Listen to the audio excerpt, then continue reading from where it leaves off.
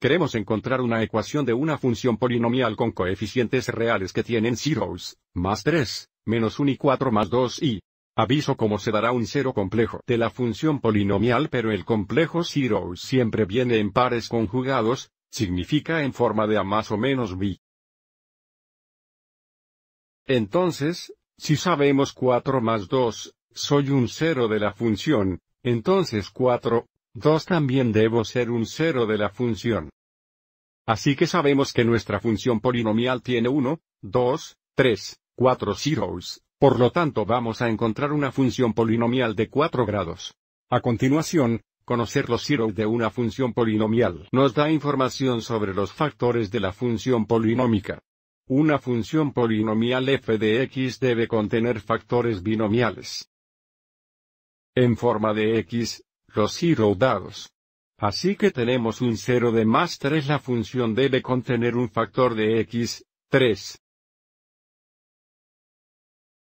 Si tenemos un 0 de menos 1 debemos tener un factor x-menos 1, que se simplifica a x más 1.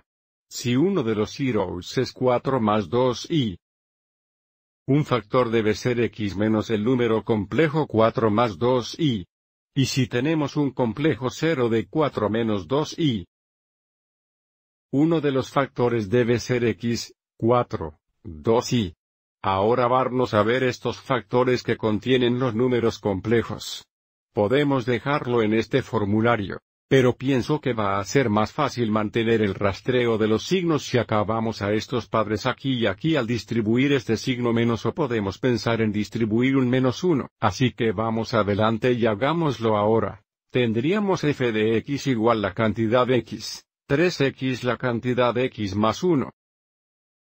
x la cantidad esto será x, 4, 2y y luego aquí vamos a tener x, 4. Y entonces menos un x2 si es más 2y. Así tenemos, 4 más 2y. Ahora todavía necesitamos encontrar este producto. Para hacer esto solo multiplicamos 2 a la vez, así que vamos a multiplicar estos dos, y luego vamos a multiplicar estos dos, y luego encontrar el producto de estos productos. Para tener f de x igual para tener x x x o x cuadrado. Y luego tenemos xx1 que es 1x, y luego menos 3xx que es negativo 3x.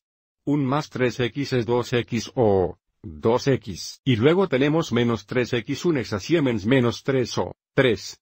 Este es el producto de estos dos factores binomiales, y ahora encontraremos el producto de estos dos. Porque hay tres términos aquí y tres términos aquí, tendremos nueve productos. So xxx es x cuadrado xx menos 4, guion 4x.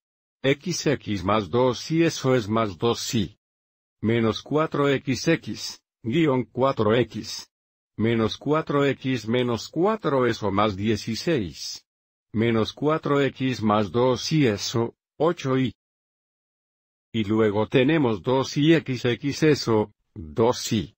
2 y x menos 4 eso es más 8y. Y luego finalmente tenemos 2y más 2 y eso, 4y cuadrado.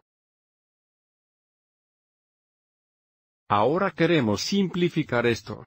Aviso como tenemos más 2y, 2y eso es 0. Aquí tenemos 8y más 8y que es 0. Y ahora necesitamos combinar los términos similares. Tenemos f de x igual a la cantidad x cuadrada, 2x, 3. El segundo factor va a ser x cuadrado. Ahora tenemos 4x, 4x que es 8x o 8x. Y luego tenemos 16 4 cuadrados, pero recuerda y cuadrado es igual a menos 1. Así que esto es menos 4x menos 1 que es más 4. 16 más 4 eso es más 20. Tenemos más 20 y ahora necesitamos encontrar este producto. De nuevo tenemos tres términos aquí y tres términos aquí, tendremos nueve productos. Para tener f de x igual, comenzaremos distribuyendo la x cuadrada en el segundo trinomial. Así tenemos x cuadrado x x cuadrado eso es x al 4 tu x cuadrado x 8x que va a ser 8x cubado 8x cubado x cuadrado x 20 eso es más 20x cuadrado.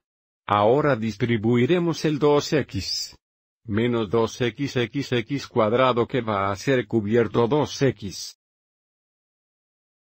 2xx8x eso es más 16x cuadrado. 2xx más 20 eso, 40x. Ahora necesitamos terminar distribuyendo el menos 3. Menos 3xx cuadrados, 3x cuadrados. 3xx8x eso es más 24x y menos 3x más 20 eso, 60.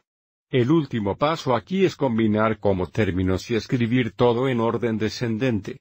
Tenemos x a la cuarta y luego tenemos un 8x cubado, 2x cubado. Así tenemos, 10x cubiertos y luego tenemos 20x cuadrados más 16x cuadrados, 3x cuadrados. Así que va a ser 36x cuadrados, 3x cuadrados que va a ser más 33x cuadrados, y luego tenemos 40x más 24x que va a ser 16x o 16x. Y luego tenemos 60. Esta función polinomial tendría arriba de los zeros. ¿De acuerdo? Espero que encuentres esto útil.